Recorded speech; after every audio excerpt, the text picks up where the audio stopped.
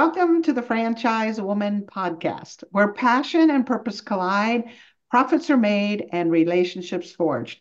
I'm Rebecca Monet, CEO and Chief Scientist at Zorakle Profiles. I'm here with my co host, community advocate, speaker, author, and entrepreneur, Tracy Kawa. Tracy, we have a very interesting interview uh, coming up. Um, as we found out from our pre-interview already, uh, Spencer Sabat Sabatasso. Thank you. Thank you. I appreciate that. The dynamic VP of franchise development at the Red Chickz, whose extensive background in hospitality industry and franchise development has positioned him as a thought leader in the field. Spencer's journey began in the culinary arts, owning and operating successful restaurants since the mid 1990s and holding key roles such as VP of Operations, President, and CEO. His deep industry knowledge combined with his hands on extensive experience as both a franchisee and a franchisor provides him with a unique perspective on what takes what it takes to build and sustain a thriving uh, franchise. So I can't wait to hear your story. Thanks, Spencer, for joining us today. Oh, you're welcome. And whoever you just described sounds like a really good guy. He is a good guy. I, am not sure. Is this our interview? Okay, here we go. Got it. Okay, I'm warning you guys, this guy's trouble. Okay. But we're going to pull out of him some words of wisdom. So welcome. Thank you welcome, very much. Welcome. Yeah, Thank we you. want to hear uh, all the details. Uh, but I think Rebecca and I would probably most likely want to hear about your early childhood and your your formative years. Well, I was born a poor black child, and no, I'm kidding. Steve so, Morgan, I love it. Yeah, I was uh you know, I was I, I grew up in the mean streets of uh, Newport Beach over here in Big Canyon. You know, tough childhood. Um, now, in all seriousness, I grew up here in California um, to um, you know Louis and Mary Sabatasso. They uh, my dad was you know a very successful um, businessman. He owned Sabatasso Foods. I think he retired when he was about 48. Yeah. Um, I think our pizza is still in Costco today.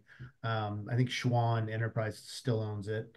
Um, so I was, you know, I was kind of, I grew up in a, you know, um, you know, we had, we had uh, wealth for sure, but you know, it was, it was a, a, a household that was you know riddled with imperfection you know two people doing the best that they knew how to do and, and raising a family and all that. And you know as a result of that you know there were some you know things that happened in that household that were you know not not the best. Um but you know nonetheless my parents were doing the best that they could. And um and i know that today um, you know, and at a very at a uh, you know very early age for myself, it was you know kind of a uh, very toxic environment. Um, I had discovered um, we had a full bar at our house. I mean, literally a full bar. Um, and you know, I discovered alcohol at a very young age, and you know, the second I uh, put that first drink in me, I was like, "Whoa." Hello, where have you been all my life? And so right away, immediately felt, you know, I was 12 feet tall, confident, you know, and all of those things. Um, you know, and I, you know, I, I, you know, I started off early and, um, you know, uh, alcohol and drug addiction is a big part of my story in my life for sure. And I'm open and honest about it.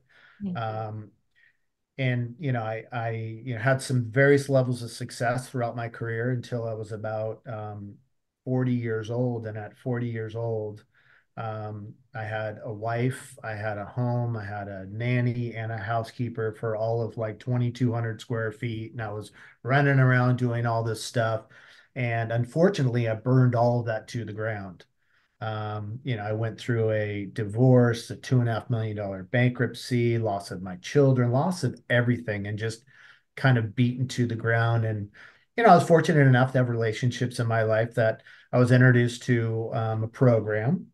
Um, and in that program, you know, I had a kind of a new lease on life. Um, you know, I removed the alcohol and drugs from my life, and then I'm just left with me, flawed character defects, and so on and so forth. So over the last basically 15 years, I've been unwinding that and, you know, downloading new software and really, you know, learning how to live life on life's terms. Um, and it's been it's been quite a journey, um, but it's been an unbelievable journey, and I'm, you know, extraordinarily grateful for that journey.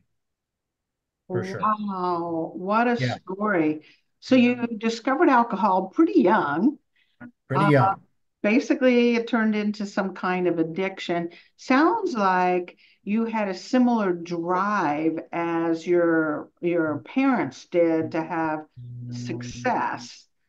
Um, yeah, I think at the age of so I, I had already by the time I was 24, I already had a degree in hospitality management and another degree in culinary arts from CIA. Um, some childhood friends of mine, um, you know, kind of famous restaurateurs around here, they wanted to open up a store in Newport Beach. And the son and I always talked about being in business together. So I think I I owned my first bar when I was 25 or 26. Um, and I, you know, I was with that group for I had about I had three stores um, with them. I I think I, I was there till about 30-ish, 31 or 32, something like that. Um, and then I sold out. I, you know, I was very upset that I wasn't a millionaire already, even though I was making a lot of money, but I wasn't quite where I wanted to be. And I left that um, again, not sober, not thinking clearly, but I left that in my blind ambition. I jumped on, you know, I jumped aboard to a franchise that really had no business franchising. And I jumped, you know, all over that. And I signed on for about 10 stores and I was going to do this thing. And then I discovered that they didn't know what they were doing on any step of the level. They would basically bring on anybody as a franchisee and they didn't have any of the support really that was needed. And so I learned a tremendous value um, in that you know, I kind of fumbled around in the restaurant industry and and then at you know 40 I finally um you know I burned everything to the ground and I decided I need to make a life change. You know, I, I, I do not want my children to grow up in this environment. Um, and so at that time, um, you know, I went through literally, you know, uh, that two and a half million dollar bankruptcy, divorce, loss of my all this stuff that I had caused. Um, and you know i needed a new way of life like all the way around. So i got sober and started really working hard on that um, and i think during that time i did everything from i got my real estate license i did financial services i have an insurance license i did drug and alcohol treatment. I did everything under the sun even tried to dabble back in the restaurant industry consulted for you know mother's market just all these different things. And i was like you know what what am i doing? You know i have this education. I know this business so well. You know for me i did not want to be back in that business where i had 700 employees and doing all that you know but i know it so well and i kind of want to help other people be successful. And so for me the natural progression being that i've owned and operated so many stores um, in my career i've done it from the dirt up and i had all this experience you know was was franchise sales and development. Um, so a friend of mine you know that was I've been in the space for many many years. Um, he uh, I you know I called him and we had a good conversation and he he approached me a couple different times throughout my career and said you ought to come do what what we're doing. And so I got a great foundation there. Um, and I was with them for about, I don't know, a year and a half or so. And then another kind of was sort of recruited by another brand to come in there and I, you know, and I started that journey and, you know, had incredible success with these guys and it just kind of kept rolling from there. And, you know, now I'm working with um, Red Chickz. Amazing. Great. Amazing timeline. Um, I'm curious about something because it, it sounds like you've been through so much, you've tried so much, you've experienced so much that any one of those things, any single one of our listeners would be able to relate to. I'm kind of, I'm kind of wondering about the ambition side of things because the one thing that it sounds like that you had from uh, pre like from addiction to post recovery is this timeline uh, of ambition. Like you've always had ambition. Sounds like you were always an ambitious person. You saw your parents successful. You wanted that success. What do you think was the difference in the way you went about your ambition from when you were addicted to when you were in recovery and after? I think the major difference is is um, what I discovered is money is definitely not going to bring me happiness. It's just it's just not the deal, and I'm not. I refuse to um, make money the driving force in what I do. You know, I think the big progression for me is when I gave my life over um, and gave it over to the program that I work, you know, to my higher power and all that. I have a different why you know, and that why now is, you know, to be of, you know, love and service, um, sort of a code. So, you know, when I'm looking at my success now, now I know that if I'm putting the other person first in a, in a respect, um, two things that are most important in my life are my relationship with myself and my higher power. So without that, everything else doesn't work. So mm-hmm. I'm sort of right with those two. Um, but the, the, the difference, the switch, the paradigm switch for me was, you know, I I want to really I want to help people be successful. I want to help them make the right decision for them. And a lot of times it's just not the right decision for them. And I'll walk them through that. I mean, I've talked people out of doing certain things because I just didn't think it was going to be right for them as it relates to this industry. Um, but my, you know, I, I want to see them succeed. So I don't just hand people off, you know, and say, here you go. Now you guys deal with this. This is your issue and problem is I really try to establish a relationship with my franchisees and guide them in every you know every single facet of the business because I have so much experience. And so, you know, if I do a good job at that, and and and if you know if I make my why about them, you know, um, I as a result of that, I've had success because I really put them first. If I'm putting myself first and my blind ambition first, I lose every time. You know, and that's probably that one most valuable lesson you know that for me and that's just my experience. It's not mm-hmm. a lot of people's reality but for me i know that if i truly look at everything from that perspective you know i show up i do a good job i walk them through the process and if i have success it's great. I think it's more a result of doing those things. Yeah so a massive shift. Your why shifted from i'm going to be a billionaire to how can I serve others and help them do what's right for them. Mm-hmm. Um, I would also think it's more emotionally and spiritually satisfying than just a self gratification that we would get through making millions or drinking too much, let's say. I would think that this would be much more fulfilling the way you're looking at the world today. Yeah. And, and I, you know, and, and, you know, I've worked in a couple, you know, circumstances where, you know, I, have said, listen, um, you know, I, I, I kind of know the playing field. I know what's, I know where you guys are at right now. Um, and that I know that I'm going to bring you guys a lot of money, you know, kind of, um, what my expectation is, because I always want to make sure that I identify the sandbox is that you're going to bring in the right people in these different buckets. You're going to bring in the right ops people when you need it. You're going to bring in the right marketing people, procurement, all of these different categories, design, construction, all these things. Um, if I go down this road with you, because at the end of the day, when you're in this business, when you're a franchisor and you decide to franchise, the day that you accept dollar one, your whole why changes. Your whole why now is to support the franchisee, period. Everything else doesn't mean anything. You know, and I learned that from my mentor, um, John Galardi, who founded Wienerschnitzel. He's since passed a few years ago. Loved him to death, my dad's best friend. But you know what I learned from him, he said, "My whole existence in life is to support the franchisee, and that's it. That's the fiduciary responsibility I have to them." So, um, in working with brands, I make sure they understand that responsibility. And if I kind of get that, mm-hmm. I'm like, yeah, it's not someone I want to work with. What's interesting to me is you stayed in the food business.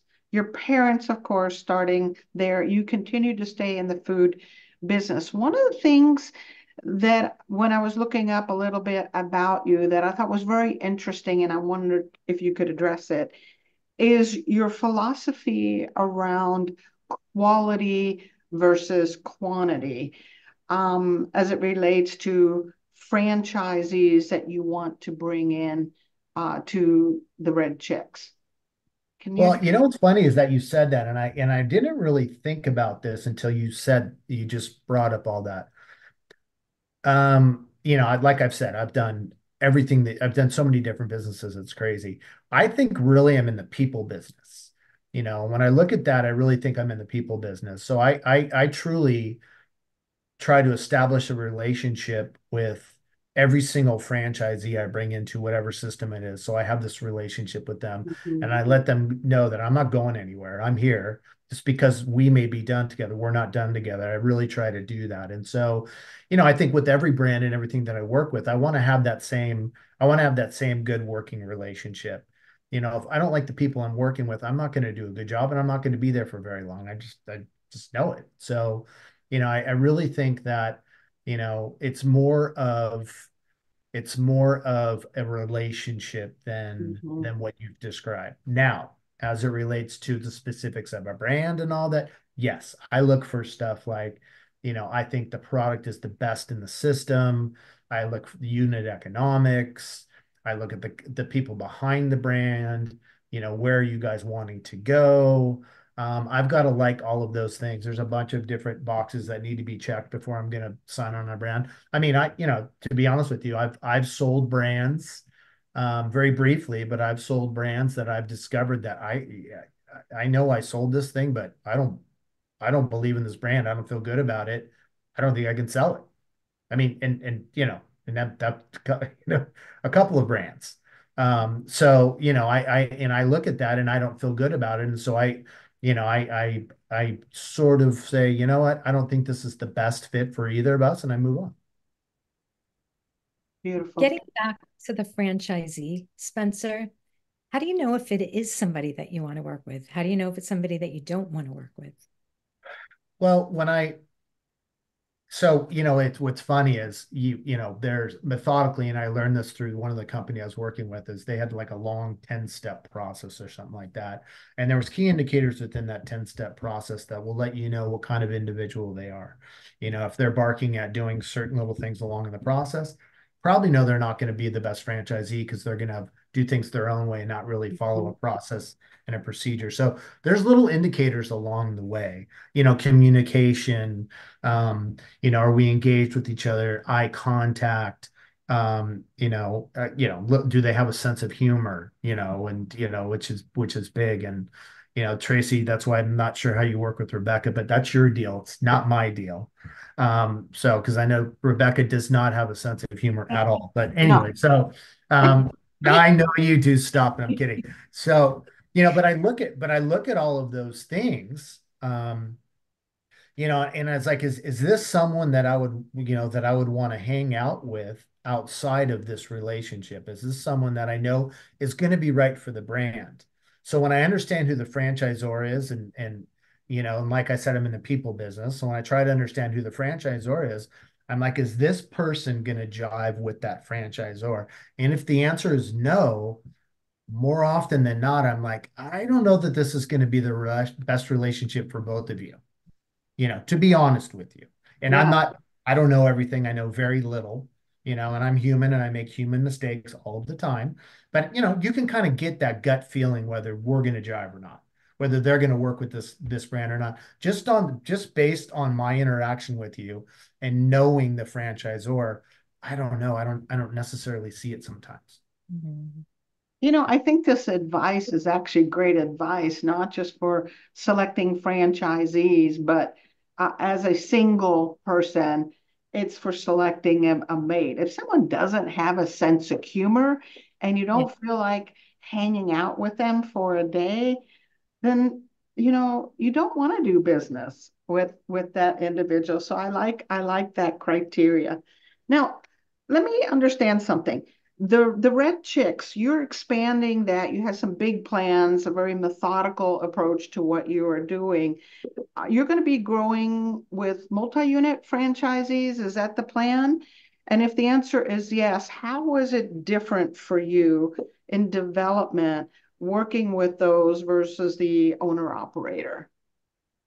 Well, I think everybody, you know, is an owner operator. Whether you're multi-unit or not, you are owner operators. Even the guys that are big franchisors that they, you know, franchisees that, you know, operate 100 or 200, you know, units. Um, they're not in the, you know, every single store, every single day. It's an impossibility, but they're operators and they get what that means. They get the grind, they get all of that. So, you know, um, when you know when you buy one unit, you basically just bought yourself a job, and that's really that is. I think the multi-unit guys understand that. Look at, I know what my number is walking in. I know what the equation is. I know if I do X in sales, I know that the bottom line is going to be call it a hundred thousand dollars. So nothing really to get excited about a hundred thousand, but if I have 10 of these things and I've got a million dollars coming in like an annuity, I've created hundreds of jobs. I'm doing great for my community. I'm all that stuff. They look at that equation and they plop that in there. So when I'm looking at that, want to make sure that what they really want to be in the industry and they understand what that means to be in the industry. They really understand the unit economics of it. They understand the financial model of we're dumping money back into this company because if we're a multi-unit operator, we're building out three stores, let's say five stores. Um, all of that money is jumping back into your company because what you're trying to get to is to be self-sufficient after about that third store. And so that's going to build that fourth store, that's going to build that fifth store. And then you're really looking at it in that scope of those five units. Now they all have to be profitable. They all have to be have great process, people, systems, all that stuff in place. But you know, it it's just a different it's just a different animal. And so in looking at that, you know, I'm looking at you know, what's the experience, you know, and if they are experienced operators, literally, and I can get to one of their stores, I literally go to their store and see, well, let's see what kind of operator they are. If the stores are crappy and they run shitty, they're going to be a shitty operator. I just it's just the way it is. Hmm. So, but I, I look at I look at that. Then I look at financially. Do they do they qualify financially? So we're setting them up for success. The number one reason, other than pure lack of understanding experience in the industry, but the number one reasons why restaurants fails, they're undercapitalized. So you yeah. look at them and say, are they capitalized? Am I setting these guys up for success or failure?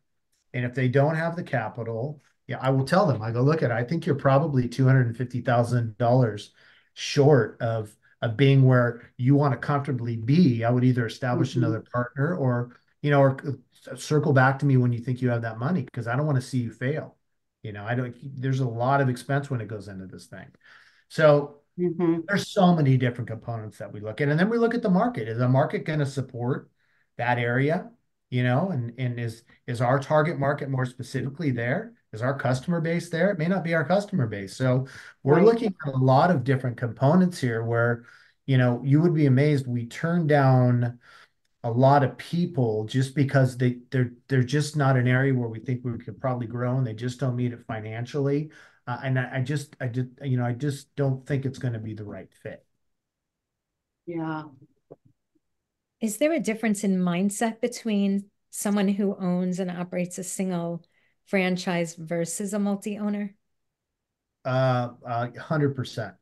So, you know, when someone knows that they're a multi or when they are a multi-unit operator, they're running an organization. So they have aces in places. They understand what it is to grow and bring a brand. So a guy is doing one store, a single store is going to market that one little store, market that one little operation, and he's going to kind of slowly, methodically build that thing out you know, a multi-unit operator that's building out a brand, especially a brand new brand that no one knows about, you know, when they come to a market, they bring it. And what I mean when they bring it is they market. I've had franchisees that have spent upwards of eighty or ninety thousand dollars on a three-month opening marketing campaign to pound the area that they're coming here, get that store up and running. And what it ends up doing is it ends up actually doing marketing for that second store that's coming down the pipeline. Mm-hmm. Now there's brand awareness and now that third store. So you're looking at territories, you're looking at the marketing of it, you're looking at contiguous territories where you'll be able to maximize that yeah. that marketing dollar, maximize all your efficiencies, you know, all the store unit economics and then the individuals that work in the store so you can cross utilize staff. So there's there's actually a methodical way of doing it and doing it right. And I, you know, and and my experience is is there's some franchisors that are really good about that process, and there's some hmm. franchisors that do, they don't even know what they don't know, and they don't do a very good job with that. I would agree. I've been in this business 30 plus years, uh, Spencer, and I, I would agree. And that's why we need people like you with the experience that can work with these emerging franchisors so they do it right, right? That, that you can bring that wisdom and the the, the whatever stuff you've already been through and share it so they don't have to go uh, through it. So I'm sure they appreciate your your input. Um, we're kind of coming up on the top of the hour, um, but you're just crazy energetic. Um, I want to know if your wife was going to describe you in three adjectives, what what how would she describe you? He is an ass. Oh, that was more. I said um, three, Spencer.